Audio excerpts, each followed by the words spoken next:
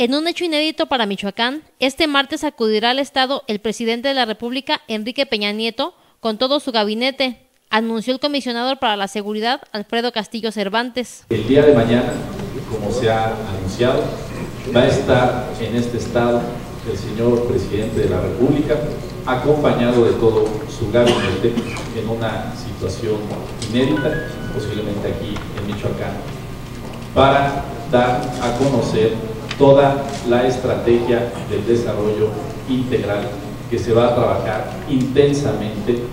en los próximos días, semanas y meses aquí en el estado de Michoacán. Castillo Cervantes recalcó que desde que fue comisionado para la seguridad en Michoacán, el Ejecutivo Federal le dio la instrucción precisa de articular esfuerzos y dependencias para regresar al Estado de Derecho a la entidad. Tengo la instrucción directa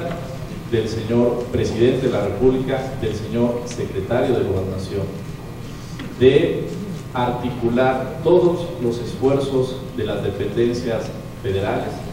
en beneficio de los michoacanos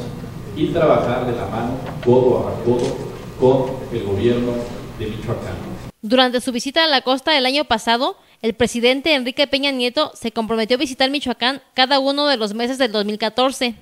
Para Cuasar TV, Sandra Sáenz.